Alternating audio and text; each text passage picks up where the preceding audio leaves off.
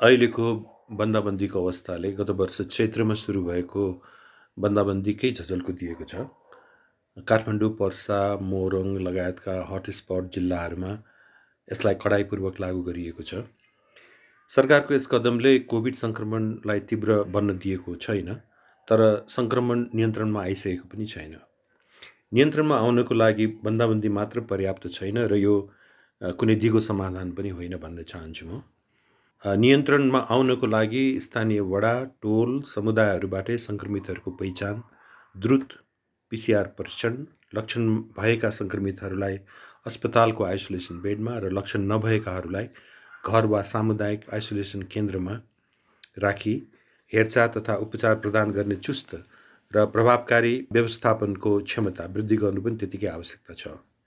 सङ्क्रमितको शङ्का भएका तर पिसिआर परीक्षणको लागि केही समय प्रतीक्षा गरी परीक्षण गर्नुपर्ने व्यक्तिहरूको लागि होल्डिङ सेन्टर वा क्वारेन्टाइनको व्यवस्थापन गर्न आवश्यक छ भने प्रत्येक हटस्पट जिल्लाका अस्पतालहरूमा आइसियु भेन्टिलेटरको साथै आइसोलेसन बेडहरूको क्षमता अविलम्ब बढाउनको लागि पनि त्यतिकै आवश्यकता छ। यी सबै व्यवस्थापनको केन्द्रमा रात दिन आफ्नो र आफ्नो परिवारको सुरक्षाको चिन्ता नगरी खटिरहेका प्रयोगशाला क्वारेन्टाइन आइसोलेसन र अस्पतालमा कार्यरत चिकित्सक नर्स ल्याब एसिस्टेन्टहरू लगायतका स्वास्थ्य कर्मीहरू हुनुहुन्छ। उनीहरू नै कोभिडको महाव्याधि विरुद्ध अग्रपन्थीमा हुनुहुन्छ। नेपालले त्यस्ता धेरै स्वास्थ्य क्षेत्रका नायकहरू जन्माएको छ तर विडम्बना र खेतको कुरा के छ भने उनीहरूले गरेको सुकार्यको लागि नागरिकहरूबाट तिरस्कार र अपमान झेल्नु परिरहेको छ। जसको सेवा पाएर हाम्रो जीवन रक्षा भइरहेको छ उनीहरूले नै अपमानित र असुरक्षित अनुभव गर्नुपर्ने कस्तो विडम्बना हो। हाम्रो नागरिक चेत यति तल गिरेको रहेछ र हामीलाई डरको मनोविज्ञानले यति धेरै गाँजेको रहेछ भन्ने देख्दा अचम्बित भएको छु।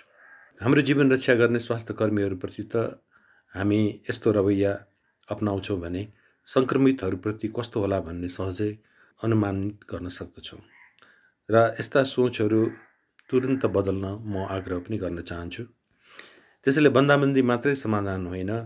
नागरिकहरूको सचेत सावधान र सहानुभूतिपूर्ण क्रियाकलाप त्यतिकै आवश्यक छ। केही समयपछि पुनः बन्दाबन्दी खुल्ने अवस्था हुने नै छ। तर यदि अघि भनिएका कुराहरूमा ध्यान दिइएन भने पुनः पुनः बन्दाबन्दीमै फर्किनु पर्ने अवस्था नआउला भन्न सकिन्न र त्यसले ल्याउने आर्थिक र सामाजिक स्वास्थ्य र शिक्षा क्षेत्रका सङ्कटहरू अकल्पनीय छन्।